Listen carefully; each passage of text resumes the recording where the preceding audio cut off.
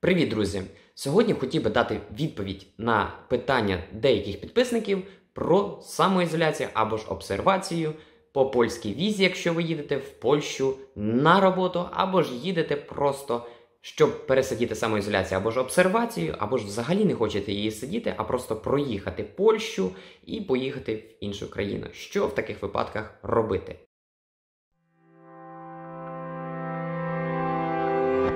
Ну що ж, друзі, зараз я вам поясню, чому так не можна робити. По-перше, якщо ви маєте польську візу, наприклад, так, і інші документи, які дозволяють вам легальне перебування на території Польщі під час карантину та в'їзду до Польщі. Якщо ви, наприклад, вже в'їхали і у вас є така можливість, що ви можете підробляти десь в період карантину, тому що роботодавець вам наполягає на це, а ви погоджуєтесь. Якщо вас, друзі, поліція спіймає, а роботодавець вам щось там наговорив, що він все за вас порішає, то будьте обережні, адже вам загрожує 5 тисяч злотих мінімально і до 30 тисяч злотих, та плюс депортація мінімум як півроку. Але повірте, для того, щоб показати, щоб українці інші так не робили, то вам дадуть немаленький термін депортації, яку, звичайно, можна буде потім скасувати, але на все це потрібен час. Тому вважайте перед тим, як порушувати правила проходження самоізоляції або ж обсервації в загальному карантину.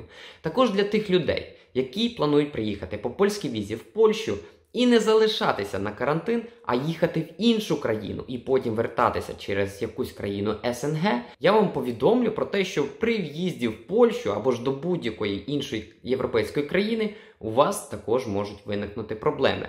Якщо ви будете в'їжджати, наприклад, в Польщу, то вам точно не дозволять в'їхати до Польщі, так як у вас буде вже висіти мандат, який суд вам вийшле на якусь адресу, на яку ви мали приїхати на самоізоляцію, наприклад, в будь-якому випадку ви отримаєте якісь проблеми. Тому будьте обережні і краще не ризикуйте.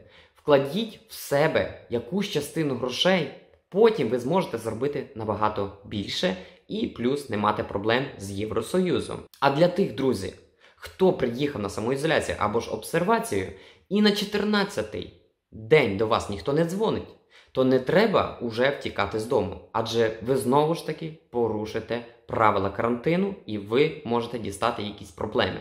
Тому краще завжди дочекайтесь 15-го дня або ж 16-го дня, і тоді вже можете звільно пересуватися. Або ж найкращим варіантом для вас буде це дочекатися дзвінка поліції. Або ж коли до вас поліція приходить, то ви можете у них запитати, коли у вас закінчиться карантин. Якщо ж поліція вам не допоможе, ви завжди можете зателефонувати до санепіду вашого міста. Тобто, місто, наприклад, Вольштин. Берете, пишете англійськими буквами Санепід Вольштин. Вам вибирає посилання на сайт, переходите на той сайт, натискаєте вкладку Контакти, по-польськи так само пише, і тоді шукайте номер гарячої лінії підтримки та телефонуєте за цим номером, де вам допоможуть. Звичайно ж, вам потрібно говорити на польській мові. Але, друзі, якщо у вас немає аплікації або ж програми на українській мові домова кварантанна, то вам буде проблемно знайти якогось україномовного оператора. Якщо у вас є встановлена ця програма, тоді у вас це вийде зробити без проблем, тому що там в аплікації або ж програмі цій домова кварантанна є номер техпідтримки, тобто гаряча лінія, де є різні оператори, які спілкуються на різних мовах, і там вам можуть допомогти відносно всіх питань самоізоляції або ж обсервації. Друзі, якщо вам сподобалась дана інформація, то прошу поставити лайк цьому відео.